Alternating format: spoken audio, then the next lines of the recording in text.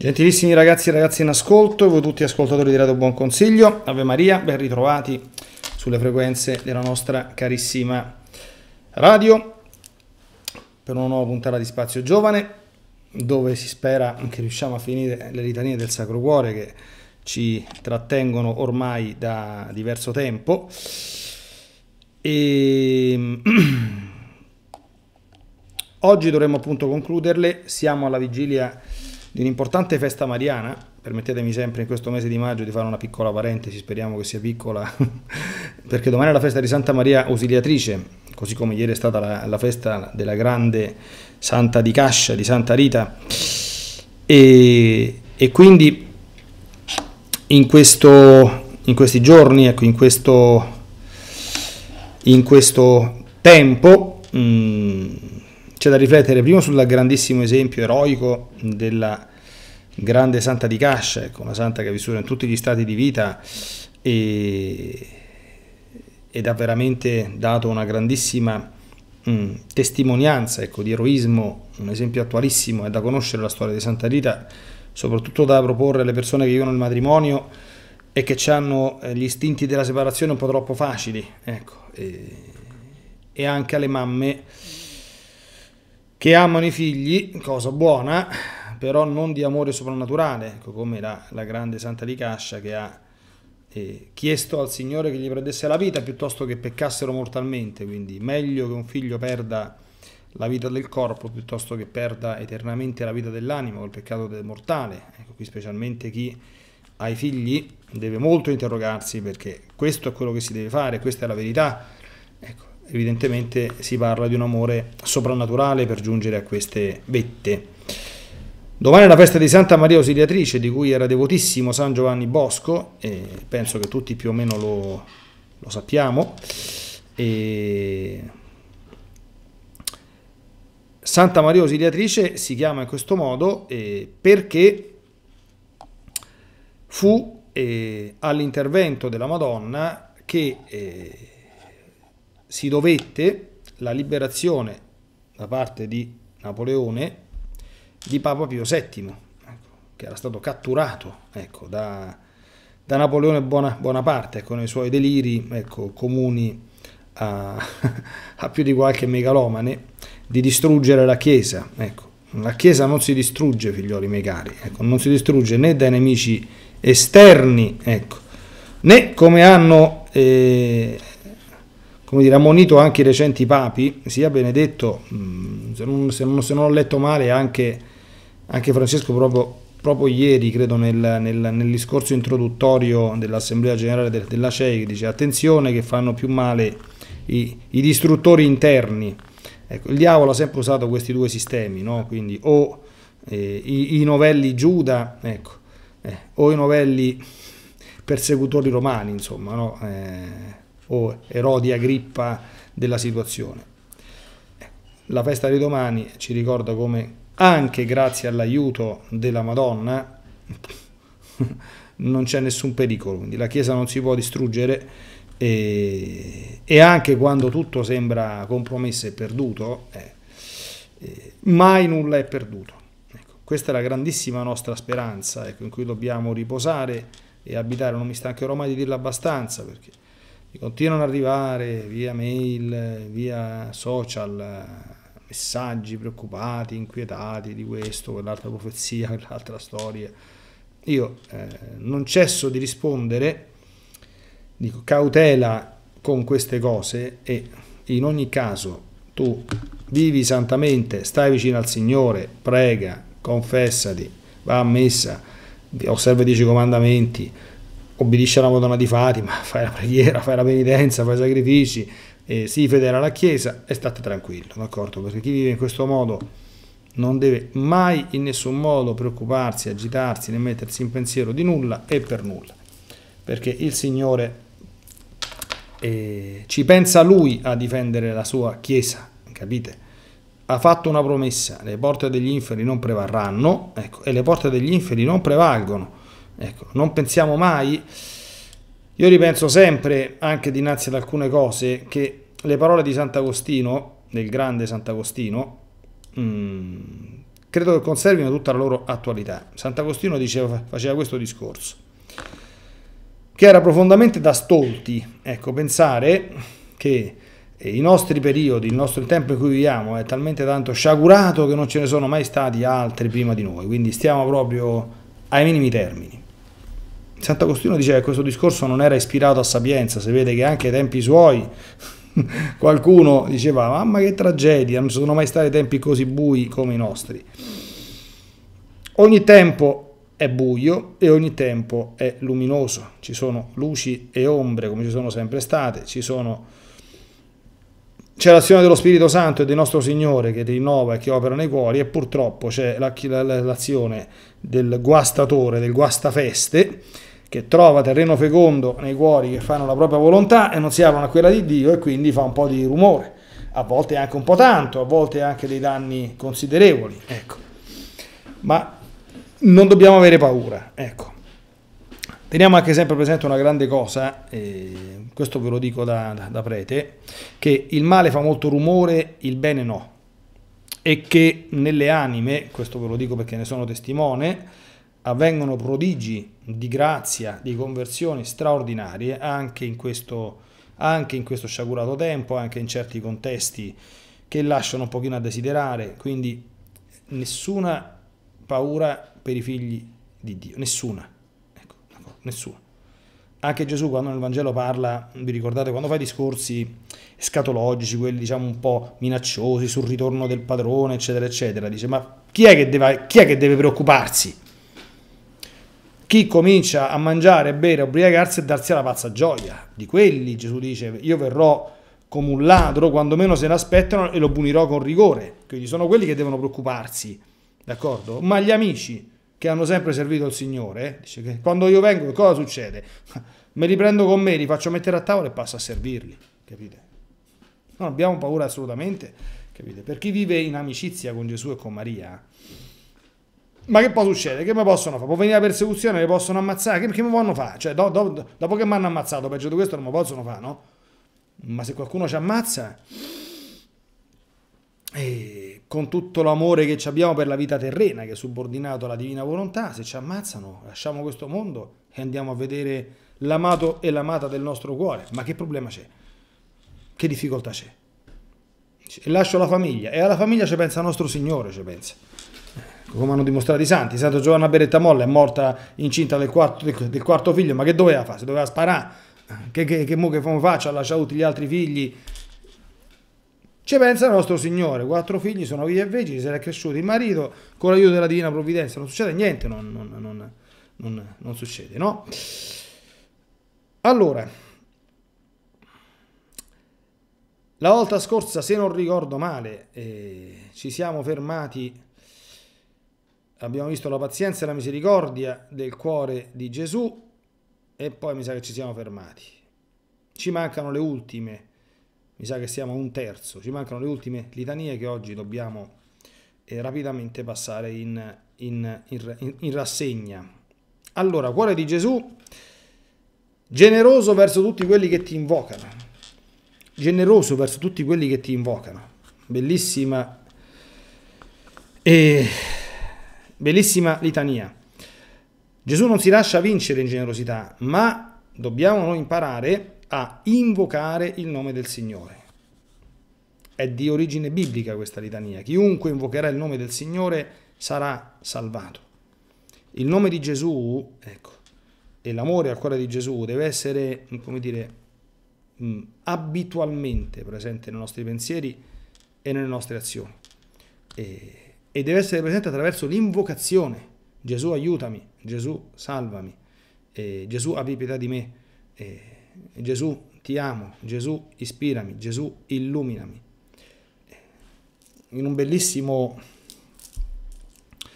passaggio di una bella preghiera di Monsignor Lebrun che accompagnava le pie immaginette di Gesù misericordioso, questo santo Monsignore metteva in bocca a Gesù, ricordo, lessi quella cosa che ero piccolo, ma mi rimase così impressa che ho conservato quell'immaginetta dentro il portafoglio che si è consumata per tutto il tempo che l'ho conservata. No? A un certo punto Gesù dice, voglio che tu pensi a me in qualunque minuto del giorno e della notte, voglio che dai cenci salga continuamente un grido, Gesù ti amo. meraviglioso. Ecco. Gesù è generoso verso quelli che, che, che lo invocano, capite? Dobbiamo gradualmente abituarci, ecco, questo se si vive poi nella, nella divina volontà è, è, è, ancora più profondo, cioè dobbiamo abituarci a sentirci veramente circondati dall'amore eh, di, di, Gesù, proprio co coperti, protetti, ecco, e, e al sicuro, ecco, qualunque sia la situazione in cui ci troviamo. Se la Madonna Fatima ha detto il mio cuore immacolato sarà il vostro rifugio e la via che ti condurrà a Dio, beh, figuriamoci il cuore di suo figlio, d'accordo? Che oltre ad essere un cuore puro, innamorato e appassionato come quello della Madonna, è anche il cuore di Dio, capite? Quindi mm, se noi consideriamo bene tutti i regali che il nostro Signore ha fatto nel corso della storia attraverso la sua Chiesa, i suoi santi, a noi, dovremmo, come dire, passare la giornata a, a, a gridare in silenzio, eh, alleluia, alleluia, alleluia, insomma, no? Quindi, in continuazione. Alleluia vuol dire lodate Yahweh, quindi nella gioia, nella lode e, e nella pace. Ecco, poi, cuore di Gesù, fonte di vita e di santità. Eh, Gesù ha detto di, di se stesso, io sono la vita, ecco, e la vita ce la dà solo il cuore di Gesù. Il cuore di Gesù che sappiamo pulsare vivo e vero nell'Eucaristia. Quindi chi cerca la vita non mi stancherò mai di dirlo, d'accordo? E la Madonna lo dice sicuramente con me, si innamori follemente dell'Eucaristia, impari a stare con Gesù Eucaristia, a lungo in adorazione e a fare bene la comunione stato di grazia, confessione frequente, preparazione alla comunione, quantomeno arrivando a messa almeno 5 minuti prima, almeno, e ringraziamento dopo la comunione, almeno, almeno anche qui dico per 15 minuti dopo. Questi sono i due eh, archi temporali assolutamente eh, invalicabili per, come dire, per prepararsi degnamente all'incontro con Gesù Eucaristia. Ecco, non dico lo zero che avevano, eh, voi sapete che Padre Pio quando gli dicevano tu, tu che fai tra una messa e l'altra? Ecco, tra una messa e l'altra, una parte del tempo è ringraziamento per la messa e la comunione che ho fatto, e l'altra parte del tempo è preparazione per la prossima che devo celebrare.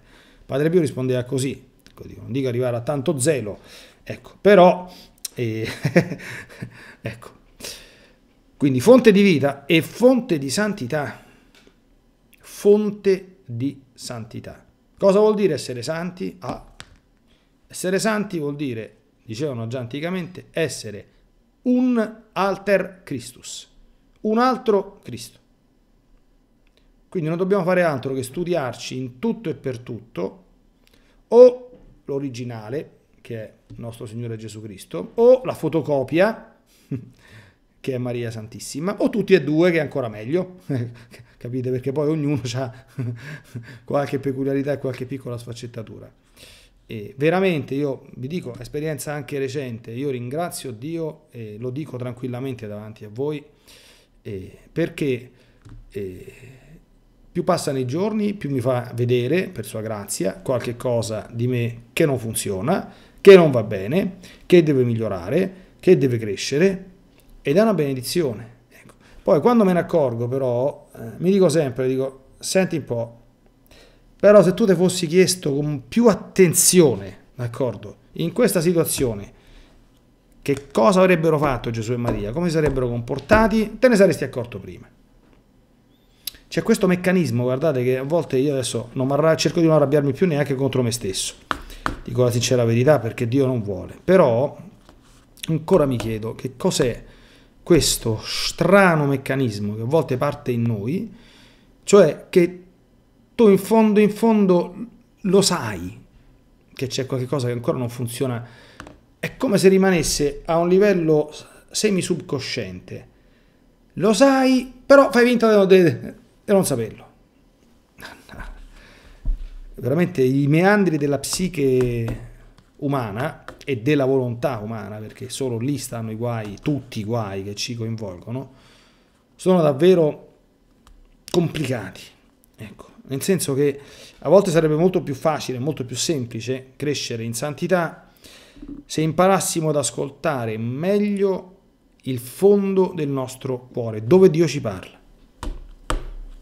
Io quasi sempre, se devo dirvi la, la verità, sia anticamente, quindi quando c'erano delle cose più grossolane, sia recentemente quando eh, il lavoro diciamo di ascetico è un lavoro diciamo di, di, di raffinazione, diciamo così, però ogni passo avanti che uno fa si accorge sempre, dice, ci potevo pensare prima, d'accordo? Ci potevo tranquillamente arrivare prima. Ecco. In ogni caso, la fonte della santità è Gesù, cioè se uno si specchia, come diceva bellissime le parole di Santa Chiara alla Beata Agnese, specchiati, ecco, in quello specchio che è Lui, pensando a Lui giorno e notte e soprattutto specchiandoci nella sua passione, eh, perché la sua passione è la, è, è la, sintesi, non solo la sintesi, è il vertice del Vangelo, cioè le prediche più grandi Gesù non le ha fatte, Lui mi perdonerà che se, se dico questo ma non c'è niente da da perdonarmi. La cattedra di Gesù non è stata quel pezzo di pietra dove era seduto sul monte delle beatitudini, no, no, la cattedra di Gesù è la croce. Lì Gesù insegna. E lì siamo tutti scolari di bassa lega, ecco.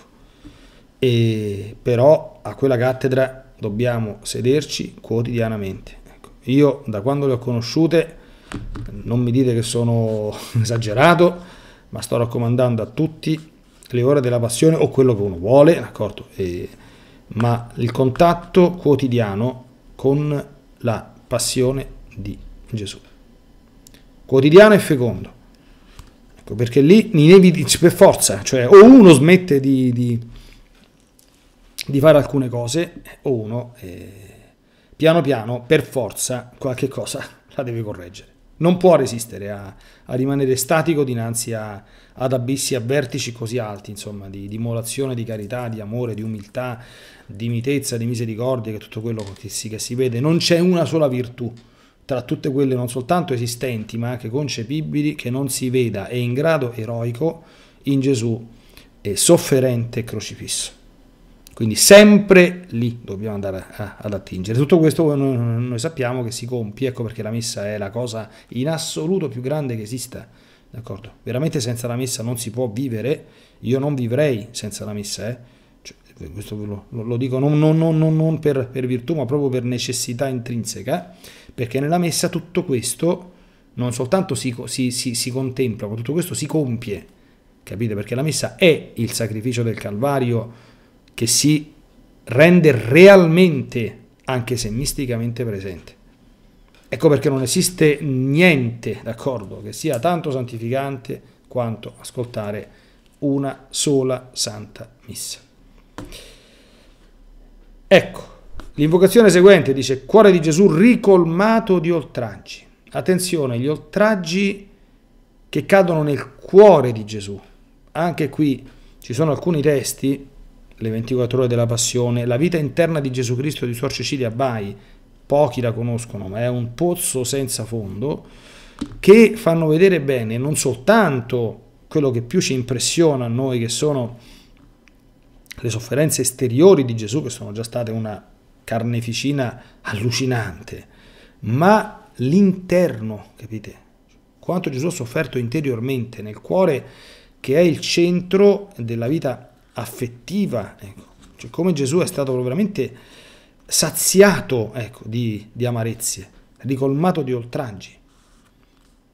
E attenzione a questi oltraggi, ahimè, purtroppo io questo è proprio una cosa che eh, mi, mi addolora enormemente, ecco, mi verrebbe da dire, non è un'espressione da, da dirsi e non la secondo, ecco, però rende l'idea che è una cosa che non mi dà pace Ecco, pensare a quanto Gesù è oltraggiato e soffre oggi nell'Eucaristia per le mancanze di riverenza, di adorazione, per i sacrilegi eh, fatti dalle comunioni sacriliche oppure dalle gravissime reverenze esteriori con cui oggi ci, ci si accosta a lui. No? Non ultime, adesso che arriva l'estate, ecco, le, le, gli scambi di spiagge con chiese, che tra l'altro anche ci sarebbe da, da affrontare un bell'argomento, insomma, che anche le spiagge così come sono oggi non dovrebbero essere così le spiagge di oggi, eh? quindi perché se uno insomma si facesse qualche piccola domandina e si chiedesse come le femminucce e anche qualche maschietto dovrebbe andare anche al mare, beh, è meglio non approfondire troppo in questa sede, ma certamente ci sarebbero diverse cose da, da resettare. Io dico sempre, chi ha coraggio e va controcorrente su questo punto, sappia che avrà grandissima ricompensa da parte di nostro Signore in cielo perché è ora di metterci punto dinanzi a tanto lerciume ecco, che gira e che dilaga e che enormemente offende Dio. In spiaggia e fuori dalla spiaggia. Bene. Cuore di Gesù, propiziazione per i nostri peccati. Voi sapete che la propiziazione è quella particolare operazione, rendere propizio, no? E che cosa significa? Significa il... Eh, si usano questi termini antropomorfici, antropomorfici che però esprimono una verità. Ecco, io lo so che oggi alcuni termini fanno saltare sulla, sulla sedia qualche spirito un po' troppo eh, moderno e tendente al modernismo, ecco, cosa che non va bene il modernismo, come non va bene il tradizionalismo, ecco. E propiziazione vuol dire che eh, si presenta dinanzi al Padre e ne placa, ne placa gli ardori della divina giustizia. Noi dimentichiamo spesso e volentieri che, perché non ci piace questo discorso, ci ho fatto tante catechesi, che Dio è somma misericordia, ma Dio è anche somma giustizia e che c'è tutta, non soltanto la tradizione ascetica no? dei santi, io ho sempre contestato, questo mi si permette al termine, questo sì, cioè alla luce di certi discorsi un po' troppo faciloni che si sentono dire in giro, dico ragazzi, ma noi abbiamo 2000 anni di scritti, vite di santi, che hanno vissuto certe cose, che hanno scritto altre cose, insomma che si sono immolati in una maniera cioè, impressionante. Ma come facciamo a metterceli a, metterli nel, nel, dimenticatoio, in soffitta, a dire ah vabbè questi hanno fatto così, ma adesso abbiamo capito tutto che queste cose non servono, Dio è buono, perdona tutti e buonanotte. Ma oh, io non ci riesco a fare un'operazione del genere, perché io mi ricordo quando, quando ero giovane, ai primordi della, della, conversione, quando volevo conoscere un po' meglio il Signore, quando stavo in seminario, sapete che il seminario quando uno ci entra per, per, per, vocazione impazzisce di gioia, una luna di miele, stai lì, io non pensavo altro da mattina alla sera, non, non cioè, capite, stavo in... Con... E ti leggevi tutta tanta sta roba qua. E adesso è uscito il film su Santa Veronica Giuliani, che io riuscirò ad andare a vedere perché l'abbiamo cercato in giro da tutte, da tutte le parti, che quando esce un film come, come, come, come, Dio comanda nessuno lo distribuisce, per trovare questo film Santa Veronica Giuliani ci è voluta la mano del nostro Signore, però pare che l'abbiamo trovato in, in una zona abbastanza raggiungibile, mi tocca farmi 70 km, però do... capite? Se uno legge, io il diario di Santa Veronica Giuliani non lo faccio leggere quasi a nessuno dei, dei, dei miei figli spirituali, perché ritengo che ci, ci voglia una grande maturità spirituale per leggere alcune cose e non sentirsi male o non andare a bestemmiare, andare a bestemmiare una santa e a dire questa qui era fuori di testa. Io non sto bestemmiando adesso, cioè però la sto come dire simulando una, una, perché le cose che ha fatto questa donna, ma tutti i peccatori che ha salvato facendo queste cose, ma guardate che sono delle cose assolutamente allucinanti, capite? Cioè quello che Gesù ha vissuto nella sua passione, cioè in questa offerta espiatoria, riparatrice e propiziatoria per i peccati del mondo, a dire fermo. C'è stato il peccatore che, st- che, ti sta offendendo perché sta vivendo come un, come, come, come un, non so, adesso non voglio usare espressioni, avvoltolato in mezzo a piaceri che fanno venire da vomitare soltanto a pensarci, e quindi la provoca la divina giustizia, nel senso che Dio gli dica stop, basta, d'accordo? Allora ci penso io, passo la notte con la disciplina in mano, e se uno va a, Città di Castello vede che, che, che, razza di strumenti usava, che se ti dai una botta con quella roba lì, non lo so, ti fa uno squarcio grosso così, ti viene il tetano. Io non so come ha fatto quella donna a usare quella roba lì. È chiaro che quando uno entra in contatto con quelle cose dice, oh, ho raccontato tante volte, insomma io ogni tanto racconto gli aneddoti anche della mia vita, la prima volta che andai a Fonte, a Fonte Colombo dove c'era uno dei conventi cari del francescanesimo di San Francesco, c'era attaccato su un quadretto la disciplina che usava San Francesco, a me mi prese l'infarto, mi ho cominciato a piare petti fra e dico ma che è sta roba? Ma che stiamo scherzando? Ma, che, ma, che, ma, ma, questo è San Francesco? Ma io pensavo che San Francesco parlava con gli uccellini, parlava con il lupo de Gubbio, cioè faceva praticare la povertà. E che, che, che usava quella roba lì? Ma che è matto? Ma che, che, è masochista? Che so queste cose? Che Dio ha bisogno del sangue? E io pensavo queste cose. Però una volta, due volte, tre volte, quattro volte, adesso non dico che questi sono, come dire, fuori classe, no? quindi questa è gente di altro livello, non, non, non, si potrebbero rifare queste cose. Però il principio uno lo, lo deve trattenere. Ma perché questi facevano queste cose? Per i peccatori, per i peccatori, per i peccatori, come l'ha fatto il nostro Signore. Allora, se servono queste offerte, vuol dire che cos'è la giustizia? Cioè, così capite anche il senso della, della penitenza cristiana, no? Cioè, che cos'è un peccato impuro? Un peccato impuro è io mi prendo un piacere bestiale, degradando la mia natura e disobbedendo a Dio, capite? Quindi il piatto della bilancia scende da questa parte. Come faccio a rimetterlo sullo stesso livello? Mi devo prendere un dolore, una sofferenza che non mi merito e in più rispetto a quelle che mi dà la vita, d'accordo? Perché tutti noi abbiamo delle sofferenze connesse al nostro essere umano, dobbiamo mangiare, dobbiamo dormire, dobbiamo riposare, eh, l'estate fa caldo, eh, d'inverno fa freddo, quindi queste ce le abbiamo tutti quanti, dobbiamo lavorare, questa è la norma, capite? Però il digiuno, perché io un giorno devo fare il digiuno quando, ma certamente mangio moderatamente, non mi strafogo, non mi mangio le ostriche col caviale, ma, ma mangio insomma, no? Perché non dovrei mangiare? Ecco, perché se tu fai questa cosa e la offri con amore, dici, vedi signore mio, quello si prende dei piaceri oltre il lecito per degradarsi e io rinuncio ad una cosa gradevole, anche necessaria, per compensarla e il piatto della bilancia ritorna su.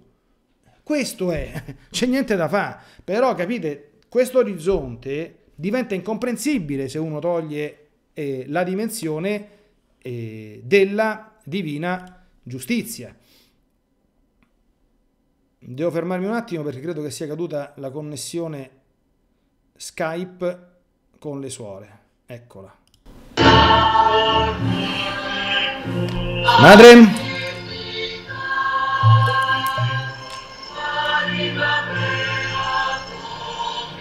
Ave Maria.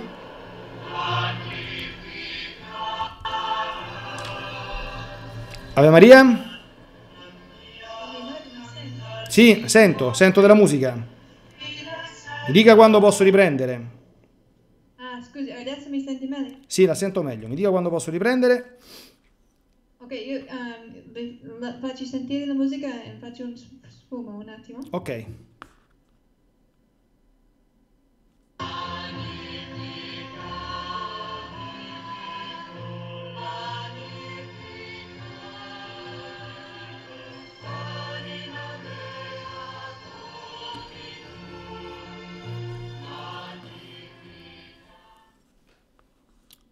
Allora ragazzi, credo che sia caduta la connessione di collegamento con la radio.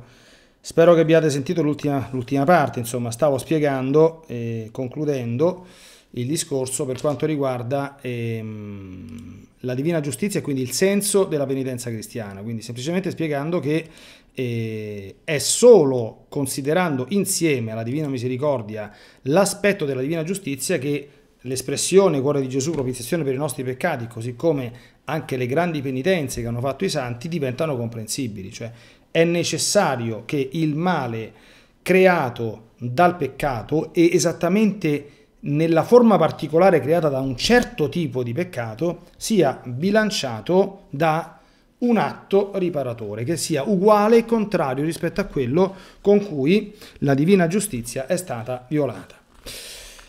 Andiamo avanti, se no non finiamo neanche oggi. E cuore di Gesù annientato dalle nostre colpe. Ecco, questa è cosa a cui dobbiamo spesso e volentieri, possibilmente, pensare e pensare bene. Quando poi si comprendono alcune cose eh, dei misteri di Dio e della divina volontà, chi lo sa se riuscirò a sintetizzarli in due minuti, questa espressione diventa ancora più, diciamo, cogente per le nostre anime, ancora più forte. Nel senso che noi pensiamo che, eh, e, e, in un certo senso è così, ecco, che la passione si è compiuta 2000 anni fa, 28 29 dopo, dopo Cristo, 8 o 9 di aprile, insomma, non ha importanza, comunque quello era il momento, il contesto è finita e adesso eh, no. Ecco. Il problema è che nella divina volontà, e il cuore di Gesù era fuso completamente con la divina volontà, ma anche tutte le persone che esistono, che sono esistite e che sono esisteranno, sono completamente immerse nella divina volontà, anche se non lo sanno e anche se alcuni volontariamente ne escono con la volontà propria. Capite? Ma la volontà di Dio, come essendo la volontà divina una cosa sola con l'essere divino, eh, è caratterizzata dall'essere eterna, quindi dal non poter essere circoscrivibile in un certo determinato punto temporale. Sapete cosa significa? Cioè che in Dio tutto è presente e attuale. Quindi il peccato che sto facendo io adesso eh, nel, nel, 23 maggio del 2017 alle 4 del pomeriggio è presente il giovedì e il venerdì santo e sta causando dolori al figlio di Dio. Lo so che questo è un grande mistero, figlioli miei cari, però ecco, l'ho detto, andrebbe molto approfondito. In ogni caso, anche senza entrare in questi alti livelli della teologia, e oserei dire anche della mistica, e è indubbio che Gesù ha sofferto ed è morto per i nostri peccati e che tutto il male che si è eh, riversato su Gesù non soltanto nel tempo della passione, perché il tempo della passione è stato come il culmine, ma tutta la vita di Gesù è stata una tensione continua verso la croce e come il cuore di Gesù ci insegna, la croce nel cuore di Gesù fu piantata nel momento stesso del concepimento. Gesù ha cominciato a soffrire da quando è stato concepito, non dal giovedì santo. Capite? E di sofferenze immense che noi neanche lontanamente ci immaginiamo. Ora, tutta la produzione del male, che, è una fabbrica infernale atroce, immensa, perché gli uomini, cioè, la Bibbia dice che il giusto pecca sette volte al giorno. Quindi fate i conti, se 6 miliardi di persone che stanno adesso sul pianeta Terra peccassero 7 volte al giorno, vale, 6 per 7 sono 42, sarebbero 42 miliardi di peccati al giorno, giusto? E al mese? 42 miliardi per 30, 3 per 4 12, quindi 120 miliardi, 1200 miliardi di peccati al mese. Sono tanti, no? E all'anno per 365. e più tutti gli anni della storia umana. Se qualcuno si vuole divertire a fare, a fare la, le, i conti e poi mi manda un conto fino al 2017, insomma, attenzione, supponendo che fossero tutti giusti, perché il giusto pecca sette volte al giorno Siccome tutti i giusti non sono, ma sono peccatori, eh, i peccatori ne fanno una caterva dalla mattina alla sera, provate a immaginare, cioè la mole di peccati che ha avuto sulle spalle il figlio di Dio. Cosa atroce. Ecco perché ha annientato dalle nostre colpe un peso. Cioè, tu dici Gesù Cristo è il figlio di Dio, forza che Gesù Cristo è il figlio di Dio. Nessuno poteva neanche, come dire, sopportare un istante di quel peso. Nessuno. Nessuno. Santa Rita da Cascia, ho fatto la pratica ieri, ha portato sulla fronte per qualche anno, una quindicina, una spina della corona. Ma ha lasciato scritto che era un dolore così lancinante, così che ti faceva uscire di testa per quanto era forte, che era un qualcosa di insopportabile. Una spina. Ma Gesù in testa ce n'aveva una caterva di spine. E in un contesto, in una situazione di assoluta debilitazione, spossatezza fisica, cominciata quasi 24 ore prima e culminata in una flagellazione truculenta da, da, da, da come dire, da, bestie, da, macelleria allo stato puro. Quindi noi dobbiamo sentirla questa cosa, eh? annientarlo dalle nostre colpe. E tutti noi dobbiamo piangere, dovete chiederlo, chiedetelo. Dobbiamo piangere non come piangono gli esseri umani da sciocchi per le sciagure umane, per le sofferenze, per le malattie, per le morti delle persone care. Questi non sono pianti santi. Noi dobbiamo metterci un bel giorno davanti a Gesù e a piangere i peccati e dire Signore mio sono stato io che ti ho, che ti ho, che ti ho ucciso, io purtroppo è un dolore immenso quando questo si vive. Sono stato io che ti ho, cioè, capito? Noi se troviamo una bella descrizione, non lo so, della, della crocifissione, eh, una descrizione viva che ti fa essere tu dici, mamma mia, sei stato tu, sei sono stato io, sono stato. Io. Non è una metafora questo qui, ah sì, questo è un, è un pio pensiero per rendermi in qualche modo... No, non è non è un pio pensiero, è reale annientato dalle nostre colpe. Oh. Poi la litania delle litanie. Cuore di Gesù, obbediente fino alla morte. Cuore di Gesù, obbediente fino alla morte. Cuore di Gesù, obbediente fino alla morte. Capite? L'ubbidienza. Oh, adesso se Don Leonardo parte con l'obbedienza ci siamo finiti tutta quanta la puntata di, di, di, di, di di oggi di Spazio Giovane. Che fa? Ho un forte dubbio, però penso che mm, di questa virtù bisogna parlarne bene. A rischio anche di fare un'altra puntata sulle litanie del Sacro Cuore, così arriviamo al mese di giugno, però bisogna parlarne bene. Non esiste virtù importante. Allora, voi sapete, allora, facciamo così. Se uno vi dice qual è la virtù più grande che esiste in, nella vita cristiana, la risposta è immediata. La carità, punto. D'accordo? Ecco. Qual è la virtù più necessaria? È l'umiltà. Ma qual è la virtù più importante? è l'ubbidienza. E guardate, il demonio sa simulare l'amore falso. Uh, capite? È un artista, d'accordo?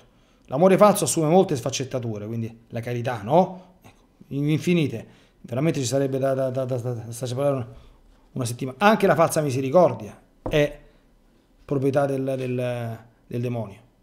Anche il falso amore nei confronti del prossimo è simulazione da parte del, del demonio. No? In alcune circostanze amare non è lasciar correre e essere sdolcinati, ma è far soffrire.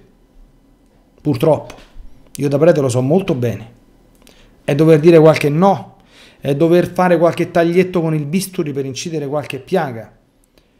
È dover accettare che la persona pensi che tu sei un cane, che gli stai facendo del male e che non gli vuoi bene, quando invece gliene stai volendo immensamente, d'accordo? Ma proprio per il suo bene devi fargli, sotto certi punti di vista, male. Questa è la vera carità. Capite? Qui dobbiamo sempre fare attenzione, sempre. Non vi dico poi quanto il demonio sia bravo a simulare la falsa umiltà. Questa è una delle sue, eh, come dire, delle sue proprio specializzazioni. La falsa umiltà. E però, eh, sapete come, come, si scopre la falsa umiltà? Basta ricordare una bella parolina di San José Maria Escrivà, che diceva queste cose. Tu non sei umile se ti umili cioè se dici, ah io sono un peccatore, ah io sono un, io questo, io questo, no, no, no. Ma quando qualcuno ti umilia e tu, buono e tranquillo, lo accetti per amore di Dio. Allora sì, allora sì. Di falsa umiltà, ma c'è una cosa che il demonio, eh, con tutto il suo potere, con tutta la sua grandezza, non la simula. Sapete qual è? È l'ubbidienza. Ah, questo non lo fa. non ci riesce, è più grande di lui, non lo può fare.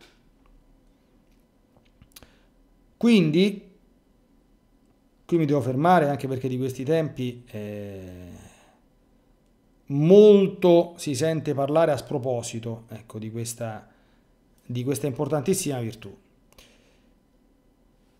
Solo l'ubbidienza non è simulabile dal demonio e solo l'ubbidienza mette in fuga il demonio, solo quella.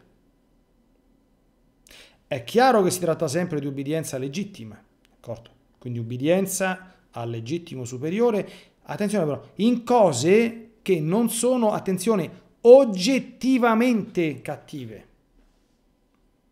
È qui che cascano molti asini. Tu non puoi ribellarti ad un ordine, né di tuo marito, mo, mo, mo, le, le, donne chiaramente saltano sulla, sulla sedia, né del tuo superiore, caro religioso, né del tuo vescovo, caro prete, né del Papa, caro fedele, caro cardinale, caro vescovo, perché il Papa può, può, può dare ordine a tutti, qualora non sia oggettivamente, ma oggettivamente dimostrabile la sua ingiustizia. Che tu lo ritieni soggettivamente ingiusto, cioè lesivo di qualche tuo diritto, oppure lesivo di una certa cosa dentro un certo contesto che tu ti sei rappresentato, non giustifica affatto un'eventuale disobbedienza in nome di Dio, perché questo è meccanismo e processo totalmente luciferino. Perché i casi palesi di obbedienze soggettivamente non ingiuste, ma de più, la storia della Chiesa è stracolma. Ma io non dico, ne cito soltanto qualcuna, ma tanto per, per citarne qualcuna, capite? Santa Giovanna d'Arco, per esempio. Santa Giovanna d'Arco i più recenti, San Pio da Pietrelcina, ma parliamo di Don Dolindo Ruotolo, 17 anni senza dire la messa, uno dei più, dei più santi preti e umili che ci abbia avuto la Chiesa Cattolica, o di quel santuomo che era Don Attilio Negrisolo, figlio spirituale di, di Padre Pio, 10 anni senza dire la messa, e il nostro Signore gli disse ti, ti, ti lascio sulla terra altri 10 anni, per quei 10 anni che non hai potuto dire la messa, ingiustamente. Capite? Avevano fatto soltanto che del bene queste, queste, queste persone il Signore ha permesso che fossero perseguitati nella propria casa. Io l'ho messo sul sito, andatela a sentire, non state a sentire Don, Don, Don Leonardo, andate a sentire i santi. Sul mio sito ci sono le catechesi di Don Dolindo Ruotolo, si sentono malino, d'accordo? Ma andate a sentire la catechesi sulla chiesa di Don Dolindo Ruotolo, quando raccontava sue, i suoi viaggi a Roma al Santo Uffizio, che tremava, poverino. Dice quando salivo per quei muri, eh, tremavo, quando vedevo l'abito di un domenicano, che sapete che al Santo Uffizio ci sono sempre stati, almeno storicamente, i domenicani, quando vedevo un abito di un domenicano tremavo, mi veniva la tremarella, capite? Non sta parlando de, de, della congregazione, cioè una volta veramente il Santo Uffizio ti faceva tremare, capite? Eppure quella era la Chiesa. E lui dice, dice, però lì dentro, anche in mezzo a questa situazione, in mezzo a questo cuore macerato, a questa sofferenza, e lì c'era la Chiesa. E io stavo nel seno della Chiesa e quella era la Chiesa. E io devo obbedire alla Chiesa, io non mi posso permettere di fronteggiare la Chiesa. Una grandissima testimonianza. Ah, e l'ubbidienza ha salvato tutti questi, tutti, tutti. Dobbiamo trovare il modo, se vogliamo un buon consiglio, ecco, d'accordo, io questo ve lo suggerisco, non avendo la grazia dello stato di vita religiosa, come le nostre care suore, che loro vivono anche l'obbedienza, io lo so, a un livello molto alto e quindi sicuramente sono molto sante, ecco, dobbiamo trovare il modo per... perché non c'è altro modo per scacciare i demoni che sottomettersi all'obbedienza. Io le vite della, de, della, della Madonna che ho letto, cioè, ragazzi, chi era più come dire, mh, libera dall'obbedienza di Maria Santissima, che aveva il filo diretto dalla mattina alla sera con il nostro Signore che volava in cielo e scendeva come quando voleva, quasi, capite, con libero accesso. Eppure era, era obbediente a San Giuseppe, era obbediente superiore nel Tempio, da bambina era obbediente ai genitori e quando Gesù è salito al cielo, ha lasciato San Giovanni, era obbediente a San Giovanni, tutta la vita l'ha passata in obbedienza. E guardate che lei si metteva in obbedienza stretta pur non essendo tenuta. Capite? Io ho letto, non mi ricordo se negli scritti della, della Piccarreta, che lei chiedeva a San Giuseppe l'obbedienza anche sulle cose necessarie. Doveva spazzare per terra, andava da San Giuseppe a dirgli, senti, dimmi di fare questa cosa per obbedienza per averne il merito. Capite? Ma qui stiamo parlando cuore di Gesù, cuore di Gesù obbediente fino alla morte. Cosa si dice la lettera ai Filippesi? Fatto uomo, prese la condizione di, di schiavo, non di servo, di dulos in greco. Ubbidendo fino alla morte, una vita trascorsa nell'ubbidienza al massimo livello, cioè capite, ma noi questo non lo non, non no, dico capite, ma non lo possiamo capire, cioè il soggetto a cui inerisce la santissima umanità di Gesù è il figlio di Dio, capite? È Dio, Dio non obbedisce a nessuno, cioè Dio è, cioè la, la, la divina volontà è il motore dell'universo, ma nella condizione kenotica, si dice teologicamente, quindi nell'abbassamento, nello svuotamento di sé, nell'umiliazione che il verbo ha fatto, si è posto in stato di obbedienza assoluta, non ha mosso una virgola senza averne l'obbedienza. Capito?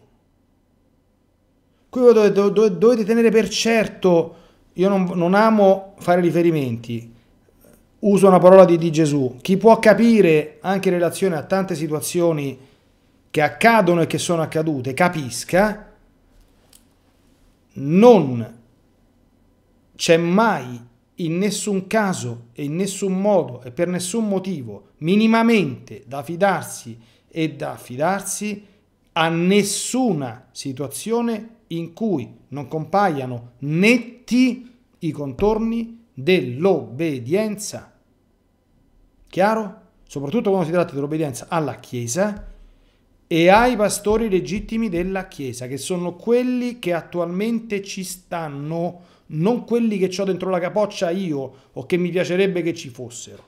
Capite? Quelli che Dio adesso ci ha donato e che sono bellissimi e che vanno benissimo, d'accordo? Perché sono quelli che Dio ha disposto che ci fossero. Spero di essere stato chiaro su questo punto qui. Scusatemi se, se, se mi sono dilungato. Ecco, è evidente, diciamo adesso quell'altra, che Dio non voglia se un superiore ti dicesse di fare un peccato oggettivo, tipo eh, commetti un atto impuro che tanto non fa niente, un superiore che dica una cosa di questo genere, è evidente che, d'accordo? Ma deve essere un'evidenza proprio chiara, oggettiva. Ecco. Altrimenti non si può. Non si può e non si deve. Ripeto, è l'unico modo per non cadere nelle grinfie del demonio. Il demonio non ci mette niente a simulare false virtù, false apparizioni, falsi misticismi. È piena la storia della Chiesa di queste cose qui. Ecco perché la Chiesa è sempre cauta, prudente su tante questioni, perché, vi dico figlioli miei cari, è, meglio, è meno peggio, non meglio, è meno peggio non esporsi su una cosa ufficialmente pur vera, piuttosto che avallare una cosa che vera non sia. Io in certi momenti a volte sono stato, lo confesso, un po' critico, nel senso che dico, mm, mi sembra un po' eccessiva questa prudenza. Poi però, riflettendo, osservando, pensando, pregando, crescendo, ho capito, nel senso che meglio un po' di prudenza in più che un po' di prudenza in meno. Cuore di Gesù trafitto dalla lancia. Che ore sono? trafitto dalla lancia. Noi sappiamo che eh, il cuore di Gesù, anche nella rappresentazione agiografica che ne è stato fatto, si presenta con questo buco. E sulla trafittura della lancia, che sappiamo ci dice anche molto eh, della eh, causa reale della morte del figlio di Dio, perché tutto quanto quel sangue misto a siero che si era depositato nella cassa toracica indica una morte ben precisa, diversa da quella per cui morivano i crocifissi che morivano per soffocamento, ma Gesù è morto per, di infarto per fissurazione, cioè causato dallo spaccamento del cuore, ecco, dall'apertura del cuore, e con questo ha voluto anche da morto, perché guardate che veramente, cioè guardate che le cose fatte da Dio, ecco perché dobbiamo stare sempre molto tranquilli, eh? le cose fatte da Dio sono cose fatte da Dio, capite? Cioè da Dio vuol dire che no, meglio di questo non si poteva fare. Cioè, per mostrare che proprio è arrivato, che non poteva fare di più Gesù, capite? Non poteva fare di più per impossibilità soggettiva, legato al fatto che la sua natura umana creata era comunque qualcosa di finito, d'accordo? Quindi fino all'ultima goccia di sangue, ma finito, se il sangue è finito è finito, ma fino all'ultima goccia di sangue l'ha voluta far uscire, né? Capite? E quindi ha fatto uscire dopo morto anche quella che gli si era lasciata depositata nella cassa toracica. a dire proprio, guarda, ad aprirlo quel cuore, capito? A farlo vedere, cioè che poi quando la Madonna quando hanno deposto giù dalla croce ha visto quello squarcio, la nostra cara Madonna, che qui gli è preso un mezzo infarto, capite? È, stato, è, stata la spada che gli ha trafitto l'anima, quella è stata. Quando attraverso le costole di Gesù ha visto il cuore umano trafitto, va a morire di infarto, perché anche la Madonna come, come Gesù è stata sostenuta durante la passione, perché sarebbe sicuramente morto di crepa, morta di crepacuore. Cioè, io la immagino sempre la mia amatissima Maria. Ecco. Ah, la, la, delicatezza che aveva quel cuore, noi non possiamo immaginarci la, la sensibilità, la dolcezza, la bontà, cioè andare a, a assistere ad una, ad una carneficina come è stata la, la, la passione di quegli animali, quegli energumeni che stavano lì sotto bestemmiando inveendo tutta quella violenza truce, gratuita, e poi cioè, quando vede già un corpo completamente ridotto in brandelli, piagato, che, che, che, si affaccia e che va a vedere insomma il cuore del figlio, ma, ma, ma, ma da, da, morire seduta stante. E come le ha vissuto queste cose, no? E noi sappiamo che poi c'è l'interpretazione mistica dell'apertura del, del costato, fin dai tempi della, della patristica, no? sangue d'acqua ma la Chiesa è veramente nata dal cuore di Gesù, cioè l'acqua del battesimo e il sangue dell'Eucaristia, cioè i due sacramenti su cui la vita del Figlio di Dio si fonda, capite? Perché col battesimo si ottiene la remissione dei peccati e con l'Eucaristia la vita divina e la vita della grazia cresce e, viene comunicata a noi, no? Quindi Gesù l'ha veramente, come dire, in qualche modo eh, realizzata attraverso il sacramento vivo che era il suo Santissimo Corpo. Questi sono misteri completamente divini, figlioli miei cari, veramente cose che oso l'espressione di, di, di qualche eh, autore del Nuovo Testamento, cose in cui gli angeli desiderano fissare lo sguardo, si legge nella lettera agli, agli ebrei. E quindi capite, mi fermo per oggi, eh, avremo un'altra piccola appendice la prossima settimana, così faremo la conclusione delle litanie del Sacro Cuore e la conclusione del mese di maggio, se, se Dio vuole, eh, davvero cose in cui gli angeli desiderano fissare lo sguardo.